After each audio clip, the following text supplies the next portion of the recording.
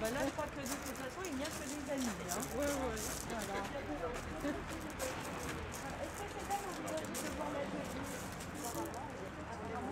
C'est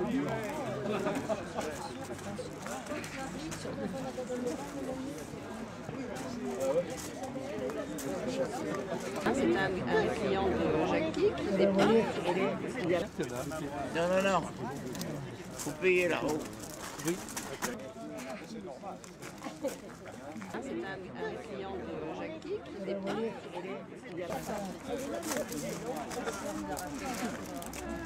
dépend.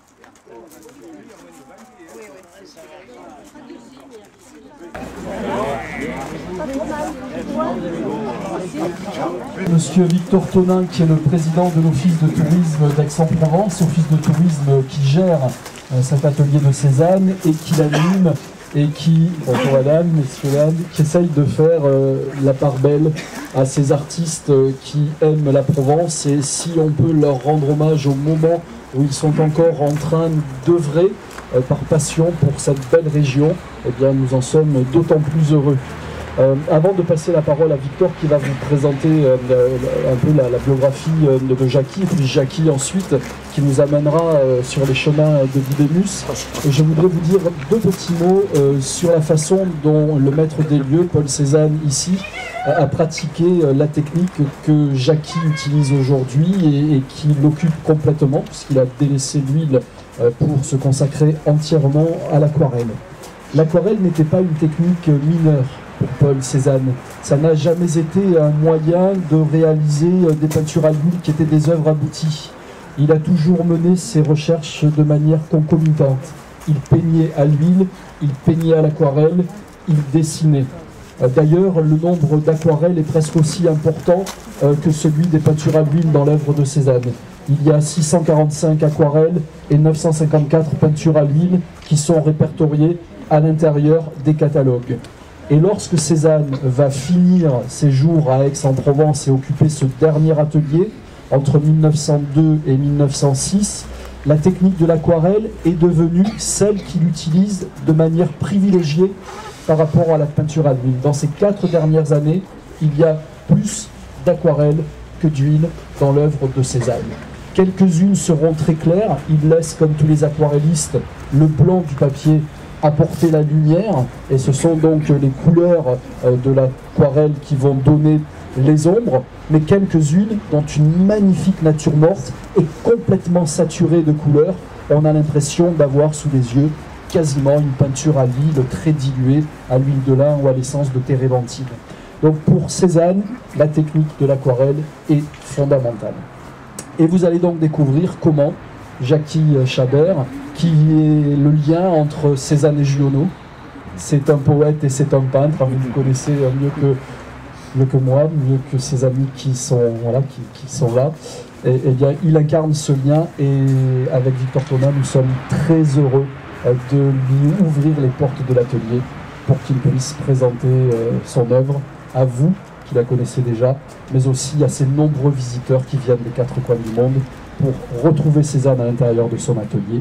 Eh bien, ils découvriront aussi Jackie Chabert. Merci Michel. Ben, merci à vous tous d'être aussi nombreux ce soir. Je ne pensais pas que, bien que j'étais persuadé que l'œuvre de M. Chabert attirerait beaucoup de monde, je- j'avais peur que vraiment le froid. Et ici, par rapport au plateau de Puricard, j'ai bien dit plateau de Puricard, ben, écoutez, c'est un petit Nice. Et Puricard, c'est la Sibérie. bon, donc, M. Chabert, je vais parler de vous. Si j'ai dit des bêtises, vous me reprenez. hein. Bon, alors vous allez voir ces 20, 20, 20 aquarelles qui sont magnifiques. Certains d'entre vous les ont déjà vues. Moi, je les ai admirées. Je vais les admirer encore tout à l'heure plus tranquillement.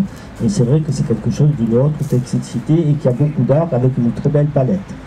Euh, donc, euh, Froid de Fond disait euh, de l'aquarelle que l'aquarelle est à la peinture, ce que la poésie est à la littérature et la, le, la mélodie à la musique.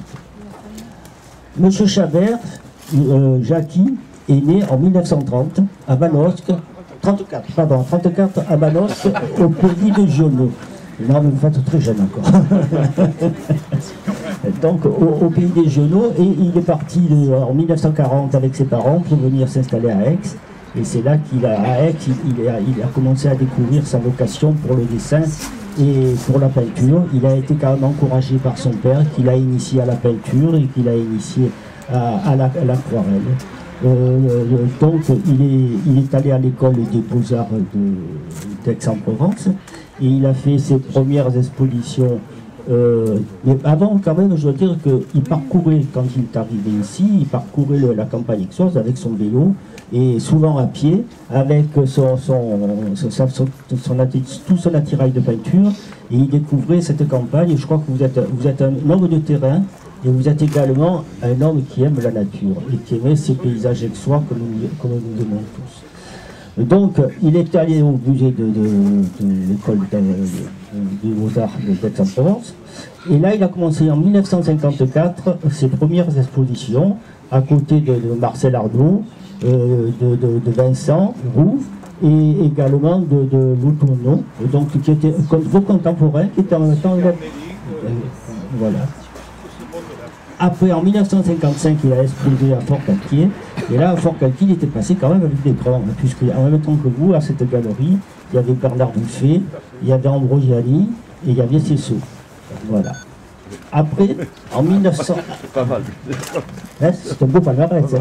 En 1960, il a décidé de se retirer. Il va travailler, il va travailler euh, solitaire, mais euh, comme un autocrate, solitaire. Il faudra les années 80 pour le redécouvrir. Là, on va le recouvrir sur les Cimaises et on le trouvera à Marseille, on le trouvera en Provence, on le trouvera dans la France, on le trouvera à, l'international. Et euh, également, il aura des émissions de télévision, il sera sur France 5, sur TV3, sur euh, sur la Une.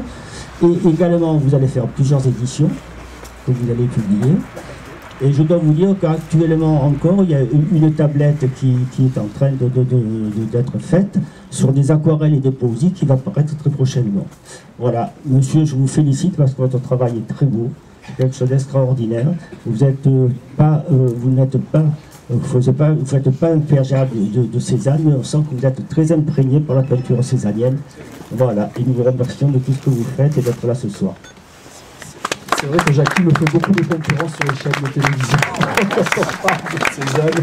Euh, c'est c'est vrai. Et je voudrais juste dire qu'effectivement, euh, c'est Christiane qui euh, m'a rappelé que tu venais euh, régulièrement ici à l'atelier et que peut-être qu'il fallait que voilà, on te rende un hommage et cet hommage est bien mérité aujourd'hui. Donc on, va te passer la, parole. Oui, mais bonsoir à tous, ça me fait très plaisir d'être ici parmi vous et de vous voir si nombreux, bien évidemment. Euh, je remercie d'abord euh, les autorités qui, m'ont invité, la ville d'Aix, euh, Michel, bien entendu, de tourisme et l'atelier. Et je tiens à remercier aussi Olivia et Damien qui ont fait un accrochage merveilleux, Samir qui a, refait la peinture des, des murs, le fameux gris, le gris des photographes et parce que c'est le gris que je souhaitais. Donc c'est vrai que cette présentation est absolument extraordinaire. Alors je voudrais remercier tout particulièrement Michel, même si ça le dérange un petit peu. Quand j'ai commencé à, vous- à faire des, conférences sur Cézanne, c'était bien avant l'année Cézanne, c'était au début des années 2000. La toute première conférence que je devais faire, c'était à Genève. Et j'étais venu te voir, je t'avais parlé de mon projet, et bien entendu, à ce moment-là, j'avais pas de matériel, j'avais rien, si- sinon mon, texte que j'avais préparé. Et c'est toi qui m'as proposé, effectivement, de venir ici et de prendre toutes les diapositives que j'avais besoin pour présenter des images au public. Donc je suis venu là, j'ai pris tout ce que j'avais besoin, je les ai empruntés et ça m'a rendu un grand service. Merci Michel pour ce petit aparté. Donc euh, oui, ma peinture, euh, je ne cherche pas bien évidemment à, imiter la peinture de Cézanne, d'abord parce que je ne serais parfaitement incapable. La seule chose peut-être, c'est que j'essaie, j'essaie de tirer la leçon, la leçon qu'il qui nous laisse. C'est-à-dire cette leçon de, simplicité et ce contact avec la nature. La nature, pour Cézanne, c'était l'essentiel. C'est là c'était, c'était le livre où il apprenait à lire, la nature. Comme le loup, bien entendu. Et lui, toute sa vie, il n'a eu de cesse, effectivement, que d'aller chercher la vérité, sa vérité, dans la nature. Et ça n'a pas été facile, parce qu'évidemment, la vérité, qu'est-ce que c'est? C'est c'est quelque chose de très complexe, de très, de très intellectuel. Et les gens euh, ne le comprenaient pas. Ne le comprenaient pas. Quand ils voulaient représenter la nature, ils se, heurtaient à, des difficultés. Et son ami Marion, qui a, été géologue, paléontologue, et qui allait souvent avec lui sur le terrain, lui expliquait, quand ils étaient au pied de Sainte-Victoire, lui expliquait précisément tous tous ces étirements, toutes ces transformations qui se sont faites au cours des millénaires. Et, et Cézanne était un petit peu le, le géologue, en quelque sorte, le géologue qui, par son pinceau, essayait de traduire cette vision euh, de, la nature. Alors, ce que je, ce que je fais, moi, euh, depuis quelques années, je travaille sur, sur un papier de soie, vous le verrez, et c'est un papier qui, qui correspond parfaitement à mon tempérament. Et bon, il m'arrive de peindre aussi sur, sur un papier tout à fait normal, évidemment, mais j'ai complètement abandonné la peinture à l'huile. Pourquoi? Parce que la peinture à l'huile a un côté un petit peu artisanal qui commence à me déranger sérieusement.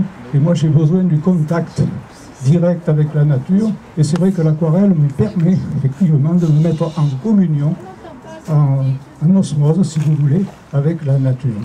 Et, de ce point de vue-là, peut-être que j'ai une grande fraternité avec, avec Cézanne, justement, parce que si je n'ai pas le contact direct, je suis, je suis ce qu'on appelle un peintre plénériste. C'est un mot un peu barbare peut-être, mais c'est ça finalement. Et je suis tout à fait incapable de faire une aquarelle euh, d'après une image ou d'après une photographie. J'ai besoin d'aller sur le motif, tout simplement. Alors maintenant, ben, je vais vous inviter quand même à aller voir de plus près mon travail. Je ne veux pas être trop long, parce qu'il y aurait beaucoup à dire, mais je vous invite donc à aller visiter mes- les aquarelles. Je vous remercie infiniment. Donc Jackie continuera effectivement à commenter hein, ses œuvres. Si vous avez des questions, n'hésitez pas. Et puis on va pouvoir aussi partager ensemble un verre de l'amitié césanienne.